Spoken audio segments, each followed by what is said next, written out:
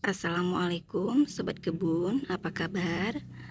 Hari ini saya mau membahas mengenai uh, anggrek sologin. Ya, saya ada menanam dua jenis sologin Yaitu uh, yang pertama itu sologin aspirata Dan yang kedua adalah sologin pandurata. Nah, Uh, perbedaan mendasar dari kedua slogan ini adalah dapat dilihat dari bulbnya. Kalau slogan aspirata, uh, bulbnya ini agak panjang, bulat, bulat lonjong.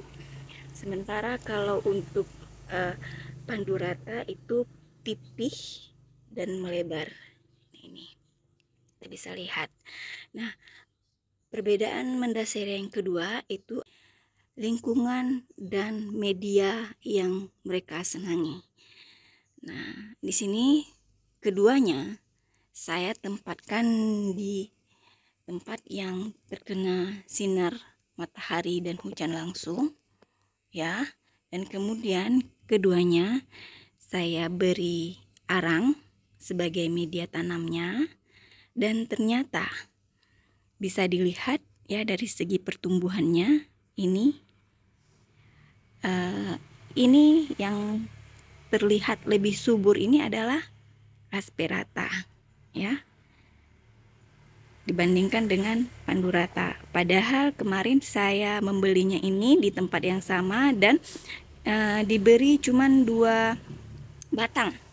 Diberi cuma dua batang tapi setelah uh, dua tahun ini ya uh, dua, dua yang dua batang ini yang aspirata ini jadi rimbun begini tapi yang asp, uh, pandurata ya seperti ini ya modelnya ya. Seperti kayak uh, males hidup gitulah ya tapi tetap dia hidup cuman ya tidak sesubur uh, aspirata ini. Ya bisa kita lihat kondisinya ya.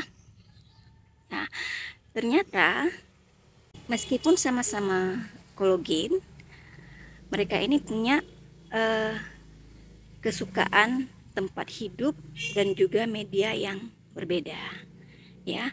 Kalau aspirata dia ternyata memang lebih suka di tempat yang terang dan uh, media yang poros seperti arang gitu ya. Sementara pandurata ini dia lebih menyukai uh, daerah yang teduh dan juga Eh, media yang bisa menyerap air atau kelembaban yang tinggi ya. Jadi ini baru-baru saya beri moss putih ya. Karena saya lihat pertumbuhannya agak kurang gitu ya. Uh, saya cari-cari di YouTube gitu di channel YouTube ternyata memang uh, dia lebih menyukai uh, tempat atau lingkungan yang teduh dan uh, media yang lembab. Nah ini baru saja saya beri moss putih. Dan sebentar lagi ini akan saya kasih pindah ya dan saya akan melihat bagaimana pertumbuhannya di tempat yang teduh. Baik uh, sobat kebun ini saja informasi dari saya uh, untuk sologin aspirata dan sologin pandurata. Semoga bermanfaat. Assalamualaikum warahmatullahi wabarakatuh